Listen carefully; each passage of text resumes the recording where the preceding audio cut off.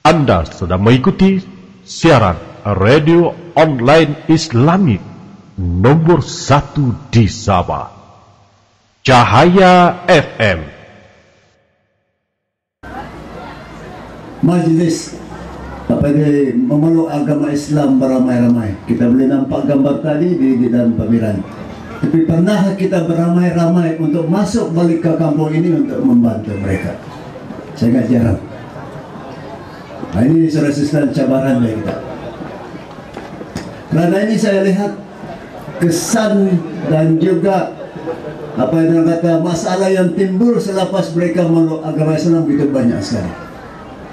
Kadang-kadang ada yang meluk agama Islam kerana kawin. Perempuan saya kata. Lapas bercerai dibiarkan. Atau tidak ada yang membela ibu, saudara baru dan lima, enam, tujuh orang anak yang dibiarkan begitu sahaja. Bila tanya, bila persoalkan, ah, yalah yalah ulah mengurus dah. Mustahil kata mengan itu cinta, isau dah itu cinta. Dah mengano kepiyangan ya lantarin mo. Di sana, di sana mengadili.